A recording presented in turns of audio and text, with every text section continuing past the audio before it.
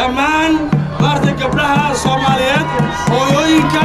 sida sharafta dhallinyarada iyo waxgaradka reer puntland ee halkan jooga. Waxaan si gaar u salaamayaa maamulka puntland gaar ahaan gudoomiyaha gobolka iyo madaxda kale ee heer gobol oo iyaguna soo dhoweynta qaybooyinka ahaa waxaan jeclahay inaan ku soo dhoweeyo gudoomiyaha gobolka cumar aan soo dhoweeyo oo kelmadda soo dhoweynta rasmiga iskale ku soo dhowow gacmo furan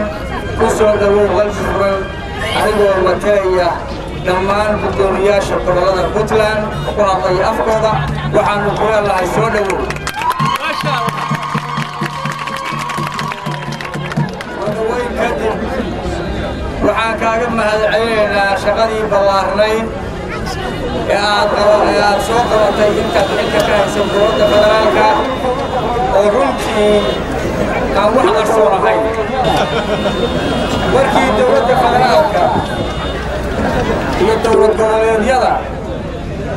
ama ka ah dagaalku dhex laysku soo xaydxaytay in la burburiyo federaalka waxaad ahayd geesigii u dhigay jilbaha ama salka u dhigay inuu federaalku hirgalo soomaaliya isku meelaa badbaadiyey isku dhicii ka dhici lahaa galmudug iyo hirshabeelle waxaad ahayd heshiintiisu nogo jamaaca iyo kiidhiisiyadii muwaadiniinta soomaaliyeed aad gaarsiisay inaad ka dhigtid muwaadinka soomaaliyeed mid laba taabtaa halkaan waa fahmaysaan maylata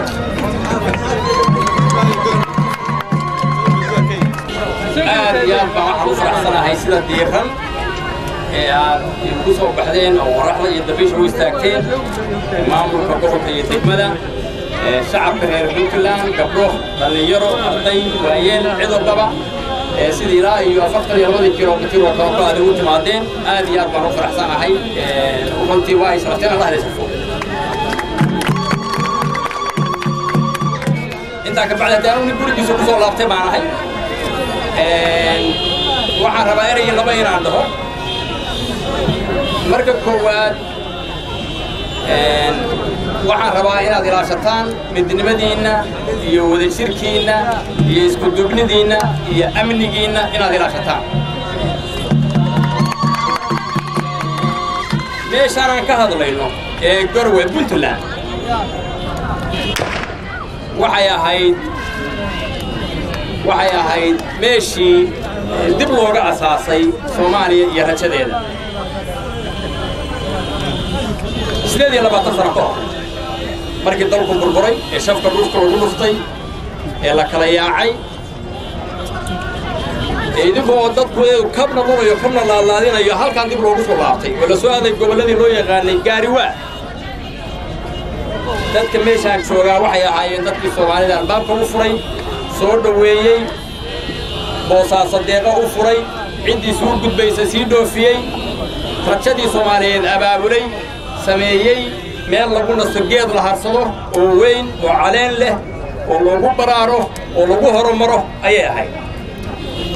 Meeshaasi iskama iman. Meeshaasi iskama iman.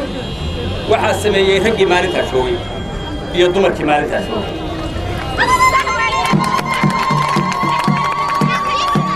hoggaan dhaqan iyo hoggaan siyaasadeed oo fogaan araga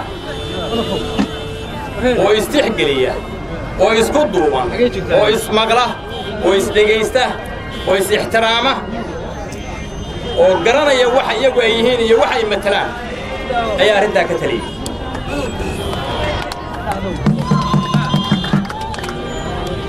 waxay ku taliyeen in meeshaan laga dhiso maamul siddeeddii sano oo sugitaanka ahayd in laga dhiso maamul lagu wada nabad galo dadka lagu soo dhoweeyo lagu kala barbaaro soomaalida kalena laga soo dhoweeyo siddeed sano ka bacdi oo sugitaana. Oo soomaali dib loo eegayey oo rajo laga qabay oo la baxnaaninayey ka bacdina waxaa dhalatay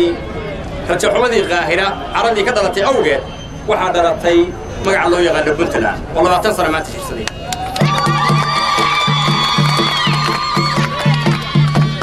dadkii taa sameeyey دكي تاسمي. وشرفتا يا مرعالي ما أنت اللي لما شو قال بدن كودي واد أنت. هذه ينوغان دغن يا هذه ينوغان سياسيا معرفت لما يسينا كتب لو ينو قبر جيسلان محمد. يكي زلان عبد الله يكي بوبر محمود يكي بلداتي عبد الله يكي روغاس ياسين حاتي iyo qaar badan oo kale.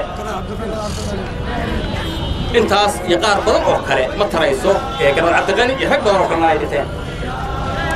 ama hoggaan siyaasadeed oo badan oo kale ay ka mid yihiin cabdulaahi yuusuf iyo maxamed abshiir iyo kinko iyo qaar badan oo kale.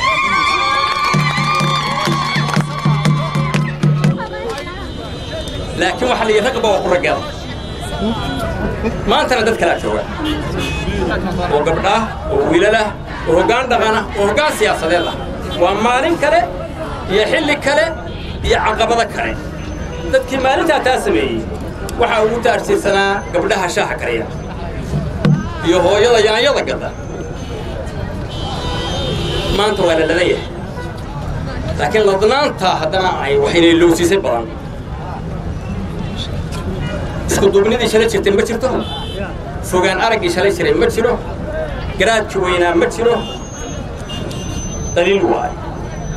haddii aan raggaasi maalintaa taa sameeyeen ma dhalateen dowladda federaalka filla soomaaliyana lama tageen filla soomaaliya halkaan ayaa laga aabulay in laga tago halkaana xoog laga geliyey xeelad laga geliyey xoole laga geliyey dadaal laga geliyey inay maanta shaqayso oo ay noqoto filla soomaaliya mid hirgasha oo dhaqan gasha oo soomaali wadaagto oo wax ku ool ah waxay ku xidhan tahay kaalinta ay ka qaadato puntland iyo maamul goboleedyada kale